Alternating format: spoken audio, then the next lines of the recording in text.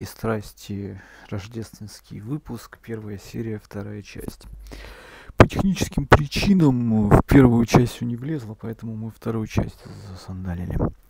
Совершенно неожиданно э, переходим в продолжение. Значит, приходит, выбегает с пулеметиками нашими маленькими эти бандиты, садятся в свои три машины и уезжают быстренько. Ну, в офисе этих э, зоозащитников, конечно, полный погром. Они говорят, блин, вот угораздило же нас облить шубу какой-то дурынды. Теперь э, вон офис не собрать, а мы еще его арендуем. Откуда нам деньги-то иметь за такое? Нам гранты в последнее время никто не выдает. Да, с грантами нынче туговат. Вообще попали мы, ребят, друзья, товарищи и товарки, попали мы с этими нашими зоозащитными делами, облили зеленкой, и вот как нас отблагодарили за акцию. Да, ну что будем делать? Да ничего не будем делать, пойдемте шаверму поедим. И фалафель, кто мясо не ест. фум фурарум фум фум фум Ну и тут, значит, вылетают э, на встречную полосу огромные, огромные грузовики. Целых 10 грузовиков едут. А, и говорят, а это специальная дизельная организация. Но на самом деле это был обман, это была не дизельная организация. Это были дальнобойщики, которые были одеты в виде снеговиков. Они выбежали из грузовиков и стали прыгать. И по центру бегают такие снеговики с морковками огроменные, которые дальнобойщики. Дальнобойщики в костюмах снеговиков бегают и норовят э, везде елки хватать. У станции метро елка стоит, у торгового комплекса елка стоит, а снеговики хватают игрушки, срывают шарики и свои вешают, где пишут. Даешь яйца по 70 рублей, пошел ты нафиг, ты нам надоел и все такое. Вот такие дальнобойщики были акционеры. Все, конечно, удивились, говорят, это на дальнобойщиков не похоже. Может, какие-то импортные дальнобойщики, иногенские какие-то дальнобойщики. Наши дальнобойщики, они как-то снеговиками никогда еще не одевались. Еще целые 10, 10 фургонов. Как же вы допустили-то? Вызывает главный комитетчик, говорит, как же вы допустили-то такое, а? Чего это у нас дальнобойщики бегают в костюмах снеговиков? Он говорит, это еще что? Это еще грузчики в костюмах Деда Морозов бегают, тоже требуют справедливого общества. Говорит, слушайте, нам эта левацкая повестка ни к чему. Мы выдвинули своих кандидатов, все, пусть идут голосуют. Что такое? Да никто уже не верит ни в чего, ни в какие голоса, ни в какие голосования. Значит, нужно срочно менять всю систему, понимаете? Иначе вот, там в холодильнике у нас один с салатиками лежит, вот нужно к нему сходить. Ну, действительно, Дед Мороз приходит к холодильнику какому-то и, и, и спрашивает, тук-тук-тук, ему отвечают. Ну, что надо бы, на? Он говорит, ну, как тебе там среди салатиков до студня лежится-то? А он говорит, неплохо лежится. Только холодновато, конечно, но я привык. Я тут уже с 26 октября лежу.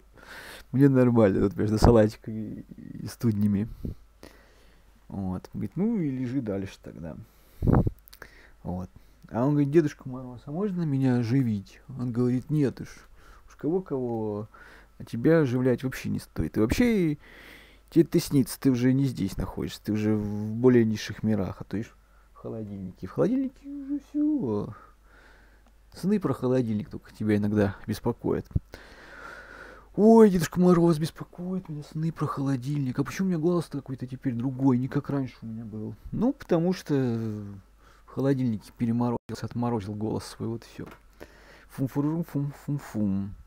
Ну, а водитель синего троллейбуса, который разбогател, как-то стал художником, он свою-то комнатенку сдавать решил. Пришли к нему люди. Женщина, мужчина, ее супруг, дочка. Втроем пришли и говорят, ну вот что, снимаем, да, у вас, да, снимайте, снимайте. Ну, в общем, он говорит, все, это хомяка забрал, все, до свидания всем, аривидерчи, ревуар. Ну и уехал, потому что он-то купил уже на Елагином острове себе особняк и жил там все спокойненько. Было хорошо, у него дворецкий был, прислуга, все великолепно. А эту квартирку куда? Ну, сдавать, получать небольшой доход. Хотя, конечно, что ему этот доход по сравнению с той, с той премией, которую он получил за свои картины. На аукционе продав Барабумбе настоящему. В общем, да, безусловно, ему было нормально. Ну, в общем-то, дальше сидел себе спокойненько и отдыхал в своем особняке. А те, кто с ним сняли у него, они поселились там, сидят, балаболят. А вдруг неожиданно стук какой-то. Что за стук? Не, да, не дают людям поспать. Что-то гремят все время. Он э, заходит на кухонку муж семейства. Холодильник открывает, сосиски взял упаковку, раскрыл, в микроволновку забросил 10 сосисок майонезом. Через минуту их полил, чтобы похолоднее были, и стал трескать. 10 сосисок слопал за ночь. Вот. Ну, сказал, ну и все, пойду я спать. А гремит это соседи, наверное, какие-то дуралеи. Чего они гремят такой пусть? Но все равно грохот, все слышно и слышно. А это был местный, местный домовой. Он очень любил как бы с водителем синего требуса жить, потому что бахал с треском, тут тоже любил бахать с треском, а тут водитель синего требуса уехал, эти снялись, а снимают, понимаешь, и никто не бахает с треском. Он говорит, блин, что за хрень? Немедленно надо, чтобы кто-нибудь бахнул с треском. Вот ты, ты сосиски ешь тут с майонезом, это вообще неинтересно. А ну давай быстренько бахай с треском. Он говорит, ты кто такой ты мужик? Я вообще тебя первый раз вижу. Что ты тут появился, домовой, что ли? Говорит, или у меня какие-то галлюцинации. Вот эти мираторговские сосиски до чего доводят, что галлюцинации уже идут от них. Не, я больше ни в коем случае мираторг покупать не буду. Блин, пойду спать, в общем, все. Он говорит, да не галлюцинации, я дрень, дрень, вот смотри, тазом сейчас тебе по башке бьет.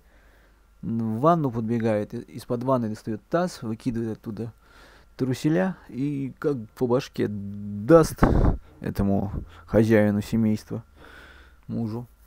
Тот, конечно, грохнулся, упал. Жена э, пошла в уборную, смотрит, муж лежит в коридоре, говорит, ой, драгоценный мой, ну что ж ты упал там.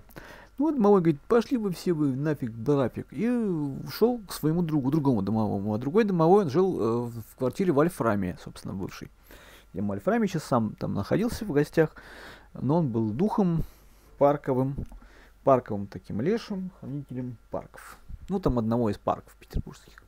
Вот. Ну и там ходил, себе важничал, говорил, ну, знаете, без белок неинтересно тусить. Вот я когда в парках своих, своих владениях занимаюсь, я с белками люблю тусить. А тут без белок скукотища какая-то.